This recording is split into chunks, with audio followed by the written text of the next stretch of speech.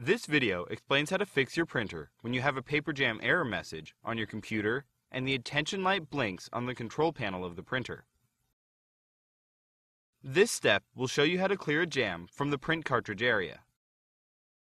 Clear the jam by first removing any loose paper from the input tray. Next, extend the output tray on the top of the printer. Open the print cartridge door.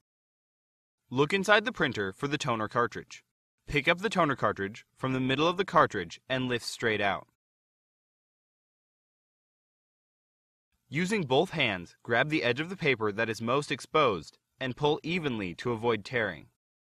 If the paper tears while removing it, make sure that all the small pieces of paper are removed before resuming printing. If any torn pieces of paper remain inside the printer, more paper jams are likely to occur. Once all paper is removed, you can reinsert the toner back into the printer. Close the print cartridge door of the printer. Try to print your original document again. If your document prints, you do not need to continue troubleshooting. If the document does not print, continue on to the next step. If you've tried everything described in this video and you still have a problem, your printer likely needs some type of service. Contact HP to find out what the support options are for your printer. Your options for service may vary depending on how long you've owned the printer and what country you live in.